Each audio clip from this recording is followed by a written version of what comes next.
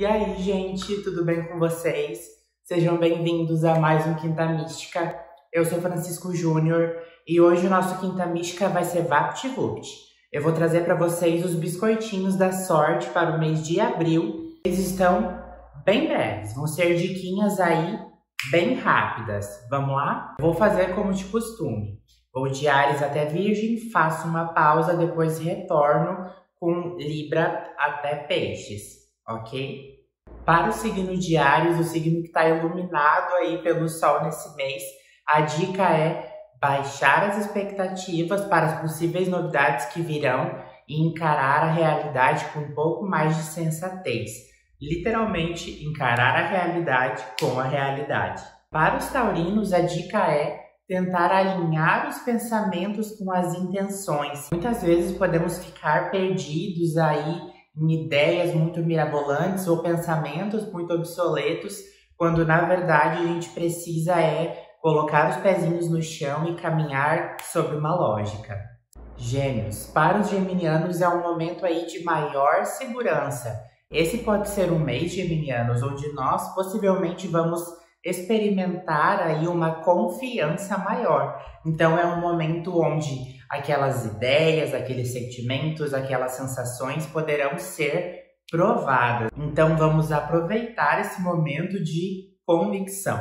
Câncer. Para os cancerianos a dica é: se tiver alguma questão aí dentro do seu coração precisando ser resolvida, alguma dor, alguma mágoa, procure alguém da sua confiança e converse Coloque para fora. Às vezes o olhar do outro, a dica do outro, a fala do outro pode ajudar a resolver ou só servir como um ombro amigo mesmo com algum assunto que esteja machucando ou perturbando a sua paz. Leão.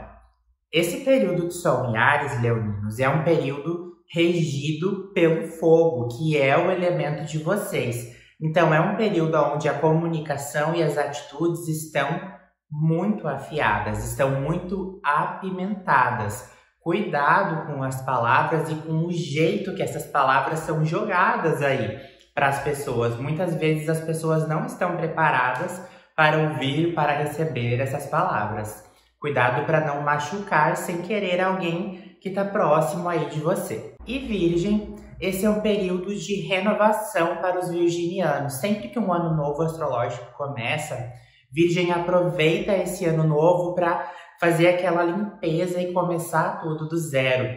Então aproveitem, virginianos, para começar tudo de dentro para fora, expressando a sua sensibilidade, expressando o seu amor, expressando o seu afeto, porque excelentes coisas e pessoas e situações podem vir de toda essa sensibilidade e de todo esse amor. Vamos fazer a nossa pausa e eu já volto com os próximos seis signos do zodíaco. Me espere!